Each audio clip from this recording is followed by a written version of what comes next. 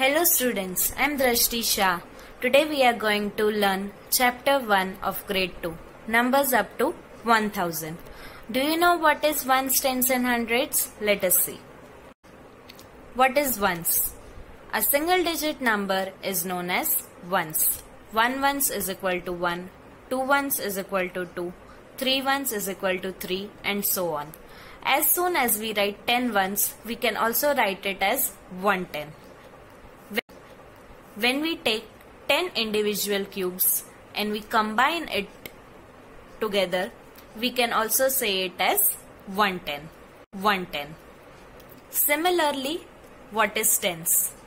In a two digit number, there are two places which is known as ones and tens. One tens is known as 10, two tens is equal to 20, three tens is equal to 30 and so on. As soon as we write 10 tens, we can also say it as 100. See, over here I have taken 10 lines but as soon as we combine it to together, it becomes 100. 100.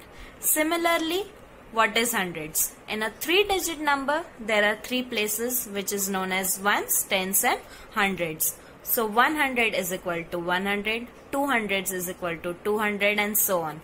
But as soon as we combine 10 hundreds, we can call it as 1000.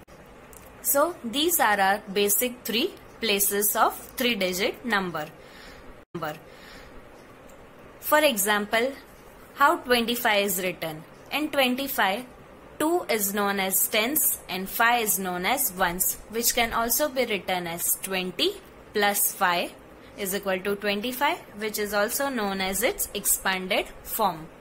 Similarly for a 3 digit number 567 you can write as 500 plus 60 plus 7. That is the given number has 500, 6 tens and 7 ones. As shown in previous slides 5 is in hundreds place so 5 can be written as 500 6 is in tens place so 6 can be written as 60 and 7 is in ones place so we'll write just 7. It will be clear with few more examples. 423 can be written as 400 plus 20 plus 3 as it contains 4 hundreds, 2 tens and 3 ones. Similarly, 500 can simply written as 500 plus 0 plus 0 because 500 don't have any tens or ones. It simply has 5 hundreds. 146 can be written as 100 plus 40 plus 6. It has 100s, 4 tens and 6 ones. 999 can written as 900 plus 90 plus 9 which contains 9 hundreds, 9 tens and 9 ones. Now another topic is place value. What is place value? Place value of a digit is the value of a digit due to its position in the number. Let us see example 264. Now there is a 3 digit number in which 4 is in ones place. So its place value will become 4. 6 is in tens place. So its place value will become 60 and 2 is in hundreds place so the place value of 2 will become 200 as you can see we can write expanded form from this form also.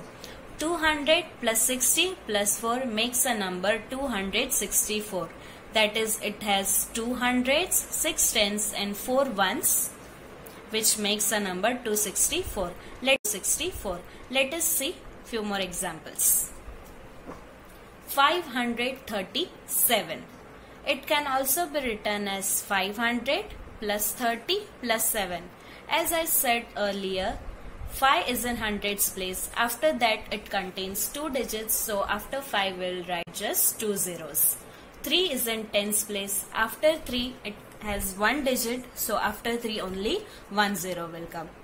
As you can see 7 don't have any after digit so just simply 7 will come. So as 7 is in ones place, the place value of 7 becomes 7. 3 is in tens place, the place value of 3 is 30. 5 is in hundreds place, so the place value of 5 becomes 500. Now let's see another example. 445 which can be written as 400 plus 40 plus 5. 5 is in ones place so the place value of 5 becomes 5.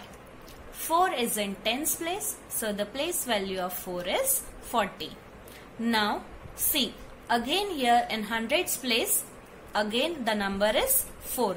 So its place value here it will become 400 because place value of a digit is not fixed. It varies from one number to another. So as your number position will change, its place value will change